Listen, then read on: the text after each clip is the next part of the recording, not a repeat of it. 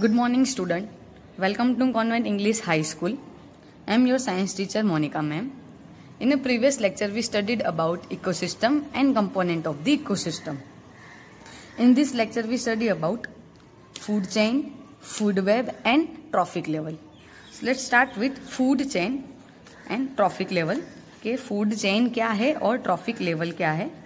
Living organism of an ecosystem depend on each other for their food requirement कल ही हमने देखा कि इकोसिस्टम है वो लिविंग ऑर्गेनिज्म और नॉन लिविंग ऑर्गेनिज्म से बनती है। तो जो लिविंग ऑर्गेनिज्म है वो उनकी फ़ूड रिक्वायरमेंट के लिए कोई ना कोई अदर दूसरे ऑर्गेनिज्म पे डिपेंड रहते हैं, ठीक है? मीन्स कि जो लिविंग ऑर्गेनिज्म है उनकी फ़ूड रिक्वायरमेंट कंप्लीट कैसे होगी? तो कि दूसरों को ईट करके, दूसरों को खा के वो अपनी रिक्वायरमेंट को कंप्लीट करते और ज़्यादा अच्छे से देखने जाए तो जैसे कि हार्बीवर्ड्स है तो हार्बीवर्ड्स से वो क्या करेंगे? तो कि हार्बीवर्ड्स प्रोड्यूसर को खाएँगे और उनसे उनकी फ़ूड रिक्वायरमेंट कंप्लीट होगी। अब हार्बीवर्ड्स हो गया तो कार्निवर्ड्स क्या करेंगे? तो क्या कार्निवर्ड्स ईट हार्बीवर्ड्स एनिमल्स। ठीक है तो इस तरह से जो लिविंग ऑर्गेनिज्म, यानी कि जो बायोटिक सब्सटेंस है, वो दूसरे के ऊपर, फ़ूड के लिए डिपेंडेंट रहते हैं। Okay?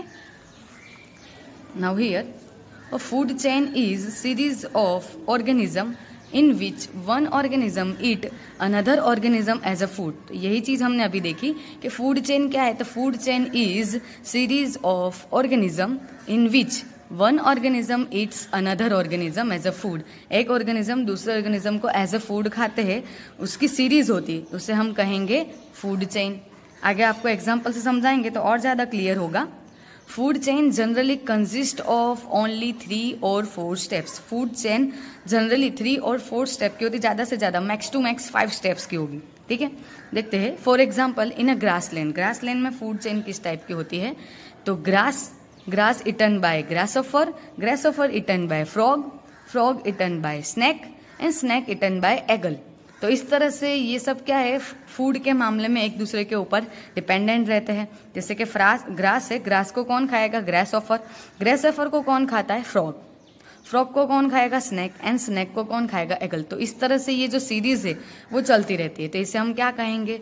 फ़ूड चेन कहेंगे। तो ये ग्रास लैंड की फ़ूड चेन है। अब उसके बाद में फॉरेस्ट के देखेंगे। तो क्या प्लांट्स या तो फिर trees are eaten by deer and deer eaten by tiger जो प्लांट्स है प्लांट्स को कौन खाता है? डियर डियर को कौन खाता है? तो क्या टाइगर तो इस तरह से फॉरेस्ट में भी फ़ूड चेन चलती है। Third one is in a pond aquatic plants are eaten by scorpion scorpion eaten by fish, and fish eaten by crane. Means कि एक्वाटिक प्लांट्स को कौन खाता है? स्कॉर्पियन स्कॉर्पियन को फ़िश और फ़िश को कौन खाते? हैं क्रेन अब आपको यहाँ पे ध्यान देना है eagle tiger and crane are the top carnivores ये सब कैसे है? टॉप कार्निवर्स है। दे डिकम्पोज बाय डिकम्पोजर्स उनको decomposer like a bacteria fungi उन्हें डिकम्पोज करते डिकम्पोज करना मतलब कि इनके कुछ बॉडी के ऐसे पार्ट्स होंगे जिसे लास्ट में कोई भी नहीं खाता है। तो वैसे लास्ट के जो कॉम्प्लेक्स सब्सटेंस है, उनको डिकम्पोजर यानी कि बैक्टीरिया फंगी सिंपल सब्सटेंस में कन्वर्ट करते अगेन उनके जो कॉम्प्लेक्स सब्सटेंस है, उसको बैक्टीरिया और फंगी सिंपल सब्सटेंस में कन्वर्ट करते और वो सिंपल सब्सटेंस फिर वापस से कहाँ यूज़ होते हैं? तो के प्लांट्स में यूज़ होते हैं। ठीक है? तो अब उस तरह से वापस से ये जो फ़ूड चेन है वो कंटिन्यू हो जाएगी। टाइगर है। जैसे कि सपोज़ एग्जांपल इसका ले रहे टाइगर है। टाइगर को डिस डिकम्पोज किया। डिकम्पोज होकर वो सिंपल ऑर्गेनिक सिंपल सब्सटेंस में कन्वर्ट हो गया। फिर वो किसमें यू, उसका यूज़ कौन करेंगे? तो क्या प्लांट्स अगेन प्लांट्स को कौन खाएगा? डियर डियर को कौन खाएगा? टाइगर टाइगर डिकम्पोज होगा। प्लांट में जाएगा। इस तरह से ये जो साइकिल है वो चलती रहती है। जिसे हम कहेंगे food chain okay in a food chain, various steps where transfer of energy take place is called a trophic level अब जिस तरह से food chain step by step आगे बढ़ती है उसी तरह से एनर्जी का भी ट्रांसफ़र होता है। तो हम देखते हैं एनर्जी का ट्रांसफ़र कैसे होता है। सो फ़र्स्ट स्टेप क्या होते हैं? प्रोड्यूसर्स फ़र्स्ट स्टेप में कौन होंगे? प्रोड्यूसर्स प्रोड्यूसर को कौन ईट करेंगे? तो कि प्राइमरी कंज्यूमर प्राइमरी कंज्यूमर से आगे जाएँगे तो कि secondary consumers and secondary consumer से आगे जाएँगे तो टेरिटरी कंज्यूमर्स तो इस तरह से ये क्या है? स्टेप बाय स्टेप हम आगे बढ़ते हैं। तो ये जो स्टेप बाय स्टेप हम आगे बढ़ रहे हैं तो उसी तरह से एनर्जी का जो फ्लो है, वो भी आगे जाएगा। तो जो पहले, सबसे पहले एनर्जी कहाँ स्टोर होती है तो कि प्रोड्यूसर्स में? प्रोड्यूसर को कौन कंज्यूम करता है तो कि प्राइमरी कंज्यूमर तो एनर्जी ट्रांसफ़र होगी प्राइमरी कंज्यूमर्स में। प्राइमरी कंज्यूमर से फिर एनर्जी ट्रांसफ़र होगी सेकेंडरी कंज्यूमर में। एंड लास्ट में जाएगी वो टेरिटरी कंज्यूमर्स में। तो ये जो आपको फिगर दिख रही है, वो किसकी फिगर है तो कि ट्रॉफिक लेवल की? तो जो एनर्जी ट्रांसफ़र होती है स्टेप बाय स्टेप उसे हम कहेंगे ट्रॉफिक लेवल और ये उसकी फिगर है। ओके अब यहाँ पे एक स्टेप है। पॉइंट वो आप समझ लेना है कि द प्रोड्यूसर्स यानी कि ऑटोट्रॉप्स जो किसी के ऊपर डिपेंड नहीं रहते मीन्स की green plants are at the first trophic level they absorb solar energy convert it into the chemical energy in the form of the food through a process of photosynthesis अब जो producer से autotroph से वो क्या करते थे कि photosynthesis का यूज़ करके सोलर एनर्जी को एब्जॉर्ब करते और केमिकल एनर्जी में कन्वर्ट करते और फिर हमें क्या देते हैं फ़ूड देते। इसलिए वो क्या है तो कि ये जो ट्रॉफिक लेवल है, उसमें फ़र्स्ट स्टेप ऑटोट्रॉप यानी कि प्रोड्यूसर से फिर उनके बाद में प्राइमरी प्राइमरी के बाद में secondary consumer and then last में आएगा टेरिटरी कंज्यूमर तो इस तरह से एनर्जी भी क्या होती है फ्लो होती है। नाउ अब हम देखेंगे कि जो एनर्जी है, वो ट्रॉफिक लेवल में कैसे फ्लो होती है? अभी वो तो हमने देखा, लेकिन उसको हम डिटेल में देखेंगे कि जो ट्रॉफिक लेवल है, उसमें एनर्जी कैसे फ्लो होती है तो उसका आपको यहाँ पे सेकेंड फिगर दिख रही है। यहाँ पे लिखा हुआ है फ्लो ऑफ़ एनर्जी चार्ट ठीक है? तो हम ये समझ लेंगे। सनलाइट है। सनलाइट को सबसे पहले कौन ऑब्ज़र्व करते हैं? तो कि प्रोड्यूसर्स प्रोड्यूसर को फिर कौन यूज़ करता है? हार्बीवर्स हार्बीवर्स को carnivores and then top carnivores तो ये एनर्जी सबसे पहले स्टोर होगी प्रोड्यूसर्स के अंदर। फिर ये जो एनर्जी इसमें स्टोर है, उसका यूज़ कौन करेंगे? हार्बीवर्स हार्बीवर्स को कौन यूज़ करेंगे? कार्निवर्स एंड देन लास्ट में आएगा टॉप कार्निवर्स ओके तो अब इसको हम थोड़ा और यहाँ पे पढ़ के समझते हैं। देखिए कंज्यूमर्स मीन्स की हेट्रोटॉप्स ऑटोट्रॉप्स कौन होंगे? तो क्या कि प्रोड्यूसर्स तो उसी तरह से कंज्यूमर्स को हम क्या कहेंगे? हेट्रोट्रॉप्स तो the consumers means the heterotrophs obtain energy from the other organism in the form of the food ठीक है ना? हेट्रोट्रॉप्स है, यानी कि जो कंज्यूमर्स है, वो दूसरे ऑर्गेनिज्म में से फ़ूड को कंटेन करते हैं। द हार्बीवर्स और the primary consumers are the second वो get the energy from the producers तो हार्बीवर्स है, यानी कि वही हेट्रोटॉप वो क्या करेंगे? तो कि वो कंज्यूमर्स में से एनर्जी गेट करेंगे फ़ूड लेंगे और एनर्जी गेट करेंगे। So energy from producers move up to higher level organism like a herbivores मतलब कि क्या? तो कि जो एनर्जी मतलब कि जो सनलाइट है, जो प्रोड्यूसर में गई, अब वो प्रोड्यूसर में से किसमें जा रही है? हार्बीवर्स में जा रही है।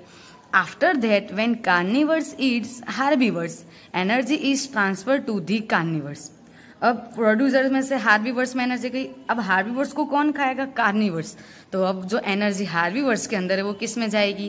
कार्निवर्स में जाएँगी। Right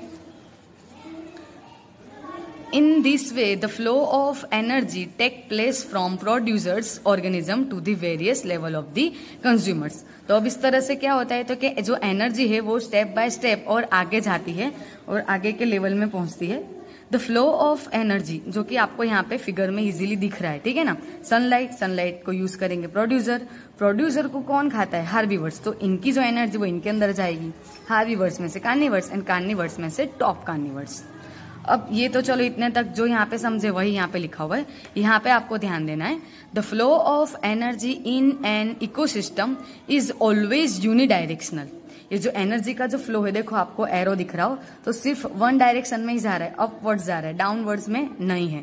तो ये कैसा है? यूनिडायरेक्शनल होता है। The energy that is captured by green plants does not revert back to the sun and the energy which passes to herbivores does not come back to the autotrophs means ये जो sunlight की जो energy जिसको producer ने use किया है, वो वापस से प्रोड्यूसर्स में से सन में भी नहीं जा सकती।